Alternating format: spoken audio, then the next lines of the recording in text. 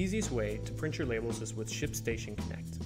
It's a program that will connect your ShipStation account with the printers and devices available on your computer. First, log into your ShipStation account and click on the settings icon in the upper right. Next, click the ShipStation Connect menu item on the left. Select the Install ShipStation Connect from Mac button to begin downloading the file. The duration of time needed for the install will depend on your internet speed. Once finished, open the file from your Downloads folder. Then, simply click and drag the ShipStation Connect icon into your Applications folder. Close this window and click Go at the top. Select Applications and open the ShipStation Connect app. You can now title your workstation and enter your ShipStation username and password to register your computer.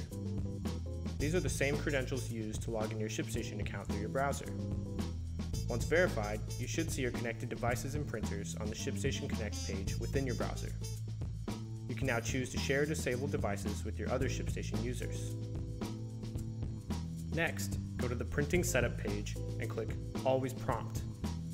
Print via ShipStation Connect and choose a printer. You can choose different printers for all your various document types. Now, when you go to the Orders page, you can select an order, click Create Label, and finalize the purchase. The print job will be sent directly to your printer. You do not need to preview the PDF or download it anymore. This applies when printing from anywhere in the application, even the shipments page. And that's it.